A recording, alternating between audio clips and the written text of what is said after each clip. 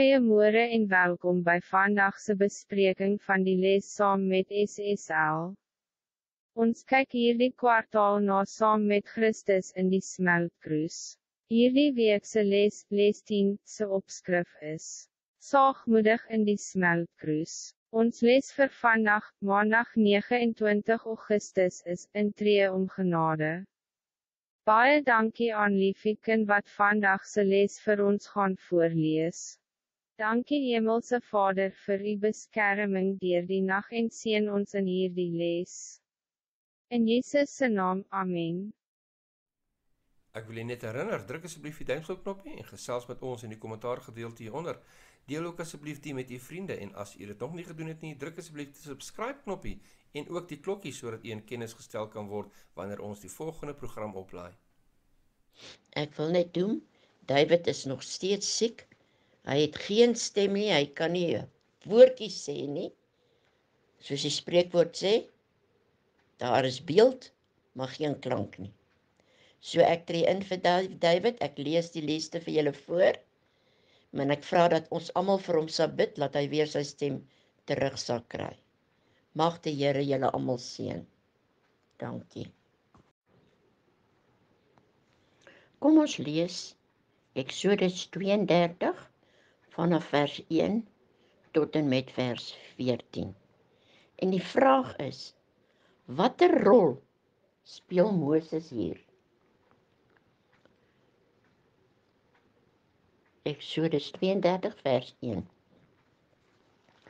Toe die volk sien dat Moses vertoef het om van die berg af te kom, het die volk rondom Aaron versamel en hom gesê: "Kom, maak vir ons gode wat voor ons uittrek, want hierdie Moses, die man wat ons uit Egipte laat optrek het, ons weet nie wat van hom geword het nie." En Aaron sê vir hulle: "Ruk die goue ringe af wat aan julle ore van julle vroue, julle seuns en julle dogters is en bring dit vir my. Toe het die hele volk die goue ringe afgeruk wat aan hulle ore was en dit na Aaron gebring. En hy het dit uit hulle hand geneem en dit met die bytel bewerk en daar 'n gegote kalf van gemaak.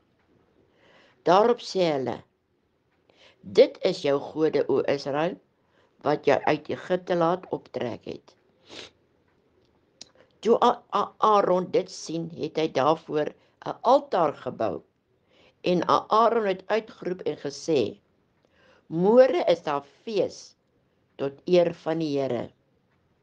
En hulle die ander dag vroeg klaar gemaak en brandoffers geoffer en dankoffers aangebring.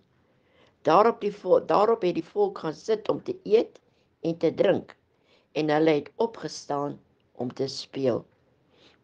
Toe sê die Here vir Moses: "Gaan heen.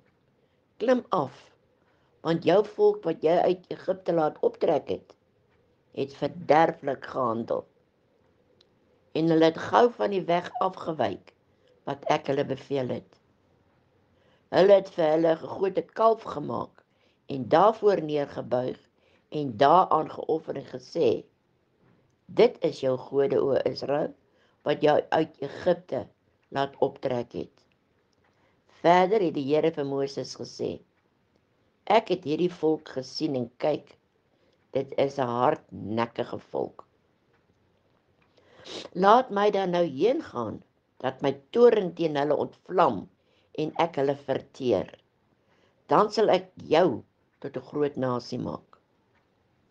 Maar Moses het die Here sy God om genade gesmeek en gesê: Waarom, o Here, sou u toorn ontvlam teen u volk wat u met groote krag en met 'n sterk hand uit Egipte uitgelei het?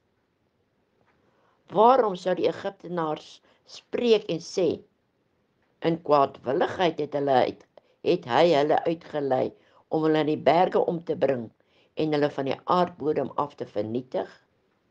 Wend u af van die gloed van u toorn en laat dit u berou oor die onheil van u volk.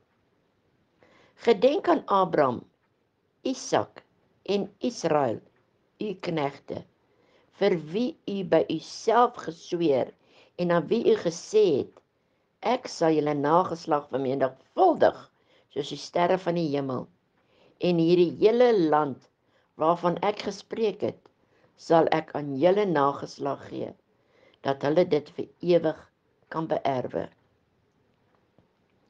toe het die Here berou oor die onheil wat hy gesê het dat hy sy volk sou aandoen. Na die mense die goue kalf aanbid het, het God besluit dat hulle te ver gegaan het.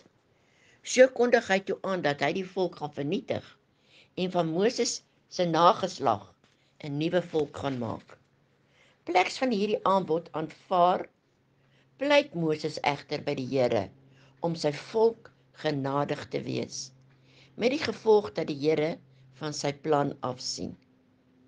Eksodus 32 vanaf vers 1 tot 14 bring twee belangrike kwessies na vore. Ten eerste dat God se aanbod om die rebelse volk uit te wis en Moses in hulle plek te seën 'n toets vir die godsman was. Die Here wou hê dat Moses moes toon hoe baie medelee hy vir hierdie uiters weerbarstige volk gehad het. Dit is 'n toets wat Moses ook deurgekom het. Net soos Jesus het Moses ook vir sondaars om genade gepleit. Dit toon iets baie interessant. Die Here laat soms toe dat ons steenkanting in die gesig staar, dat ons in 'n smeltkroes beland sodat hy en ons en die ganse heelal wat toe kyk kan sien hoeveel medelee ons vir sondaars het. Wat sê Moses? Waarom moet die Here nie Israel uitwis nie? Wat is sy redes? Ten tweede toon hierdie skrifgedeelte dat teenkanting en ongehoorsaamheid 'n oproep is om genade te openbaar. Genade word juis benodig wanneer mense dit die minste verdien. Tog is dit in daardie tyd dat ons die minste kans sien om dit aan ander te gee. Toe Moses se suster Miriam hom egter gekritiseer het, waarna God haar met melaatsheid gestraf het, het Moses by die Here gepleit om haar te genees. Ons lees die verhaal in Numeri 12. Toe die Here kwaad vir die Koragiete was en gedreig het om hulle almal uit te wis, het Moses op sy aangesig geval en vir daardie mense se lewens gepleit.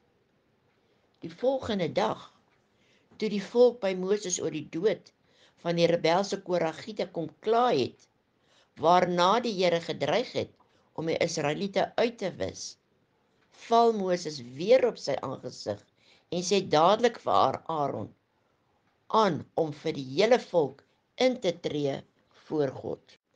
Daarvan lees ons in Numeri 16. Dit is in daardie gees van sagmoedigheid en onselfsugtigheid te midde van sy eie vuurdope dat Moses om genade bid vir mense wat dit beslis nie verdien het nie. Dink nou aan mense om jou wat volgens jou die minste genade verdien. Hoe kan jy in 'n gees van sagmoedigheid en nederigheid die genade van God aan sulke persone openbaar? Kom ons bid saam. Onse liefdevolle Vader, Ek bid U asseblief dat U ook in ons harte sagmoedigheid sal gee, barmhartigheid verander. Dat ons nie sal kritiseer nie en nie fout sal vind nie, maar eerder by U sal pleit vir verlossing van die sondaar wat ons dink dit nie werd het nie. Dis net U wat in ons harte kan werk deur u gees. En ek bid dat u genade asseblief my Vader vir ons genoeg mag wees. Seën ons dan nou verder want ons vra u in Jesus se naam. Amen.